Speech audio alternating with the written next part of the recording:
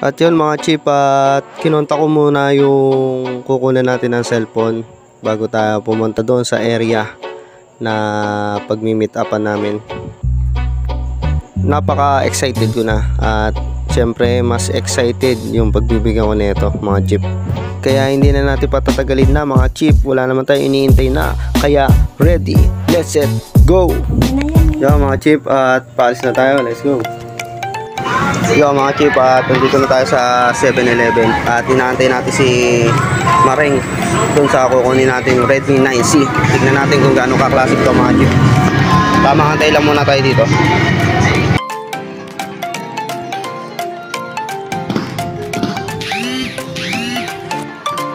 Chip, nakuha na natin. Kaya matutuwa si Mrs. Let's go!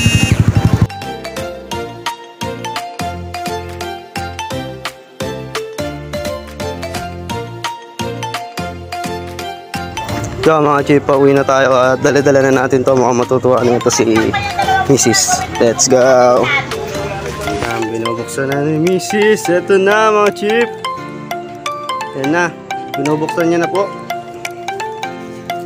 Siyempre, titignan na natin kung gaano ka-smooth to. Yan. Wait lang, wait lang.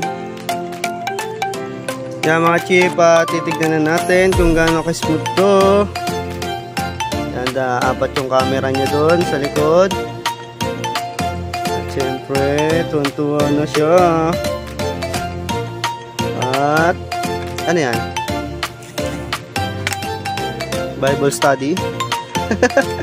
Ay, mga protocols. Protocols ng cellphone, mga chip. Redmi, Redmi 9C. Ayan yung susi. Ayan, titignan nyo muna. May isa-isa na po.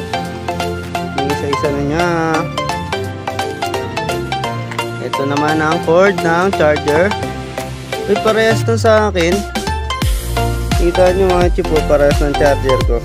Redmi din kasi itong gamit ko. Ayan, syempre, lalakas lang natin konti ang boses natin. Na sinaksak niya na. Ano natin? Yung mga chip at tatanggalin niya na yung pinaka plastic doon sa screen. Yan na tinatanggal na niya mga chip. At syempre ingat ingat lang siya kasi bago pa. Ang arte magtanggal eh no mga chip So, oh, dahan-dahan lang, dahan-dahan lang. Uy, yung kinis. Ayan na. Kunti-kunti, oh, binalik pa. Ayan na, dire-diretso. Uy, kita yung mukha sa screen. Happy na yan, Chickmin. Ah, pinagmamasdan niya pa mabuti mga chip. At syempre, hindi pa siya makapaniwala kung totoo ba to o nananaginip lang siya. At ayan na nga, nabuksan na mga chip. Ayan, lumabas na agad sa screen Redmi. Ito ang Redmi 9C. Uy, ganda. Uh, MIUI. Yan yung may gawa ng Redmi. At kagandahan dito mga chip ay apat yung camera niya sa likod. Tapos napakalinaw at napakatibay na itong mga Redmi. Itong gamit ko ay Redmi 9A at ito namang bagong bili ay Redmi 9C. Yan ang mga chip at tinanggal niya na yung lagay ng SIM at lalagyan niya ito ng SIM card at memory card niya. At ito palang Redmi 9C ay 464 GB. Available na po to sa lahat ng store maliban sa drugstore. Mabalik na tayo dito mga ka-BT. Kinakabit niya na po yung SIM card at baliktad pa. Yan, mga chip baliktad. At siyempre, matutukoy niya din ang tamang lagayan.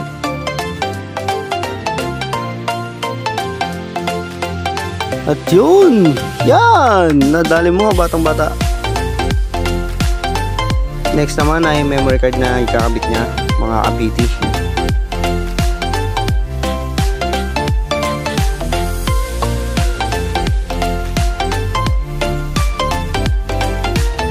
Yan na, pinasok niya na. At nag-react agad yung cellphone mga kabiti. Dahil may na-insert ng SIM card at memory card. At ngayon naman check niya kung gumana na ba o pumasok na yung mga files doon sa memory card. Makita nyo dito mga chip at hindi ko napaparinig kasi baka masipir tayo doon. Yan, malakas yung tugtog niya.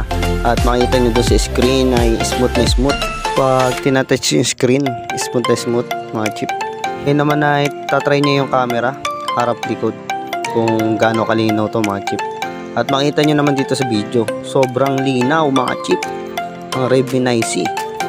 At dito nga sa eksena na to ay tuwan-tuwa ang bata. Ang batang unga-unga.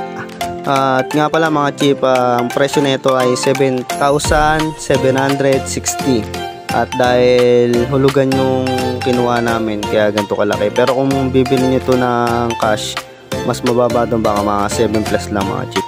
Uh, gantong hulugan mga chip ay 1.5 to 2 plus ang DP, ang down payment niya.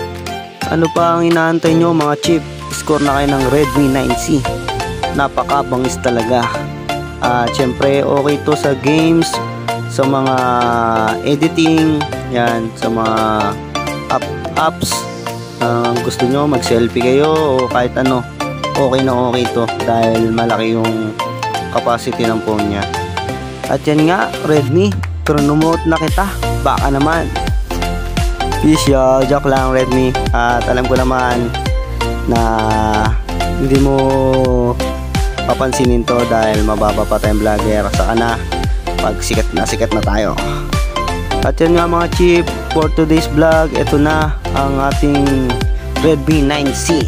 Babuo siya at pagmastan nyo ang kanyang postura.